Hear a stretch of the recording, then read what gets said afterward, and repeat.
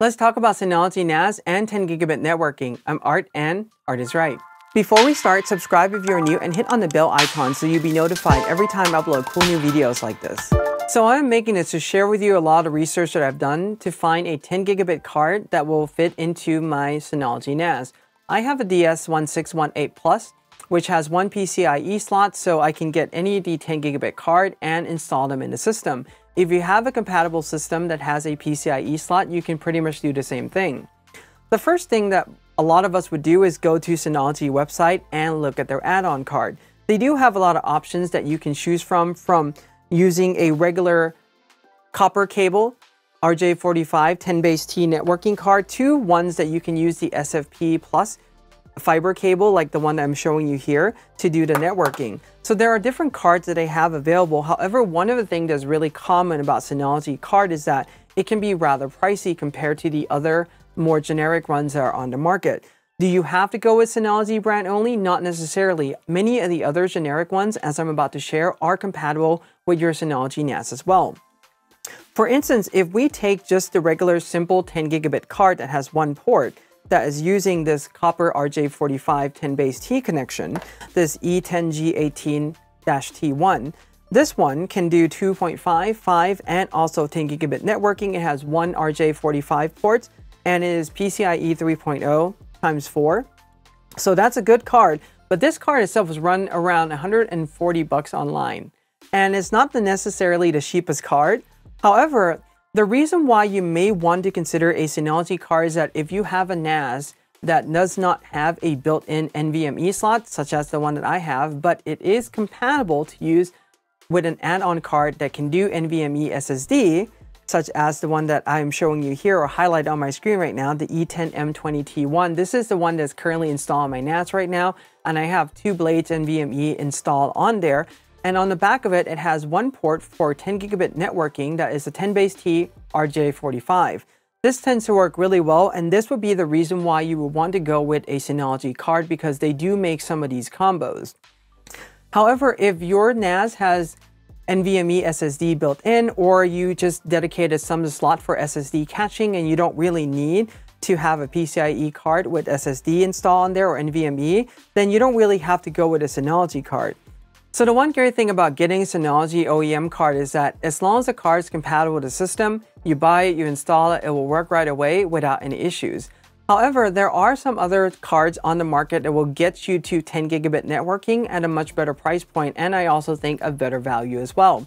So what you can do is go into eBay and start searching for a card. Primarily two of them that will work really well is Intel and Mellanox.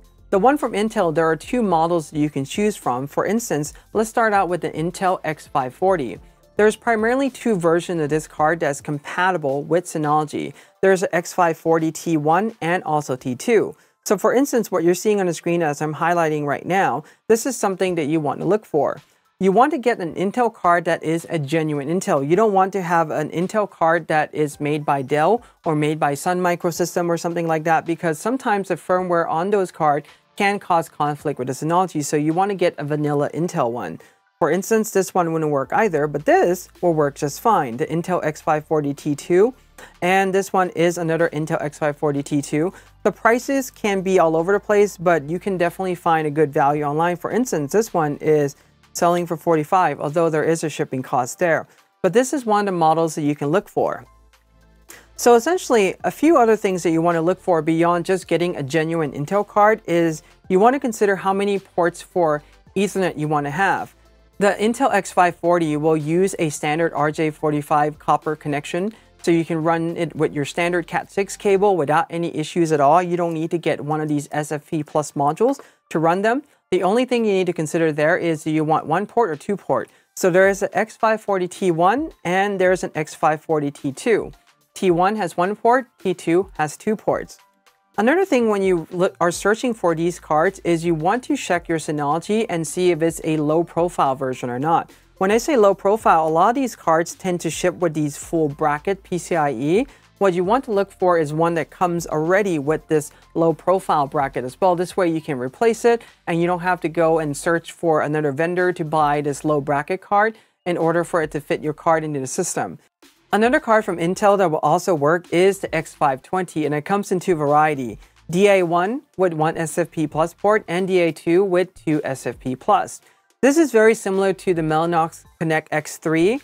Again, this one comes with one SFP Plus port and this one, for instance, come with two SFP Plus port. And you can just simply go into eBay and type in Mellanox ConnectX-3. When you're looking for these, look in the description of it or in the title to make sure that it says SFP plus and not QSFP because that is a different type of connection or connection cable in general and it's not going to be compatible with the switch that you have that's 10 gigabit. So one of the cautionary tale about getting a SFP plus card is that the card itself comes with two of these slots that you would have to get the module to buy and install. So if you want to use an SFP Plus with a regular Cat6 copper-based cable, you can. You just have to get a 10 base T SFP Plus module.